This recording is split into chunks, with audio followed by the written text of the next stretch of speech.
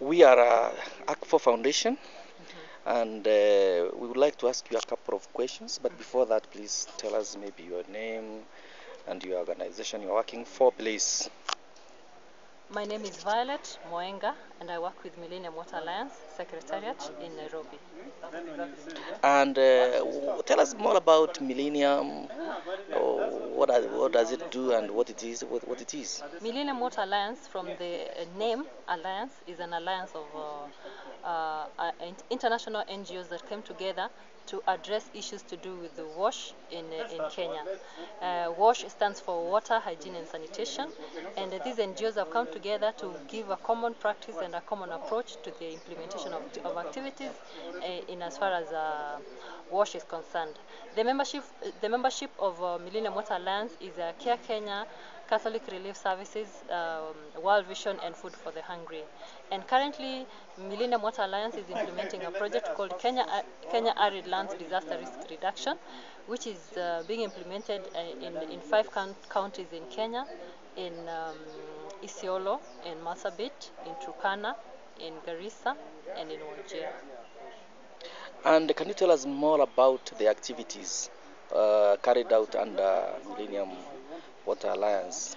The activities that uh, the partners within the Millennium Water Alliance are carrying out uh, uh, is centered around the three strategic objectives of the program. The three strategic objectives of the program are strategic objective number one is to increase both artificial and natural water storage, and to this end, the partners are implementing activities to do with the storage of water.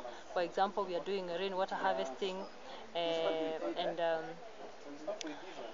sand dams and uh, uh, boreholes and all other activities that are going to improve masonry tanks and all other activities that are improve water storage. Our second strategic objective is to increase, uh, improve the wash conditions in, in nutritional feeding centers and health clinics. And to this end, we are doing pipeline extension to these health facilities and also improving hygiene and sanitation uh, practices within the, the facilities.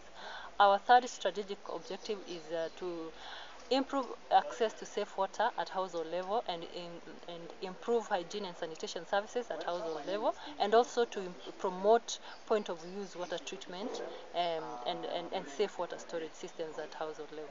Maybe briefly, eh? tell us what has been achieved uh, so far.